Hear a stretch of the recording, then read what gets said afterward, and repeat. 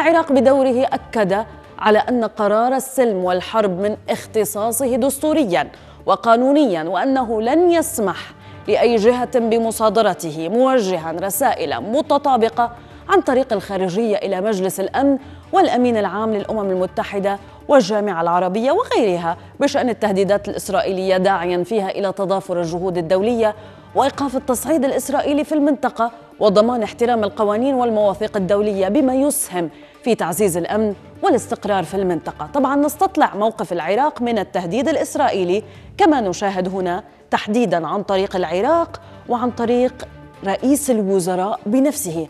قال بأن رسالة إسرائيل لمجلس الأمن تمثل ذريعة للاعتداء على العراق. ننتقل من السودان إلى المجلس الوزاري للأمن الوطني. كما نشاهد هنا قالوا بأنه نرفض شكوى إسرائيل الموجهة ضد العراق. هذه الشكوى طبعا قبل أسبوع وجهتها إسرائيل إلى مجلس الأمن الدولي وبالتالي اليوم العراق رد برد متطابق. أما وزير الخارجية كما نرى هنا قال بأن الحكومة اتخذت خطوات للرد على التهديدات الإسرائيلية. ننتقل إلى الجانب الكردي.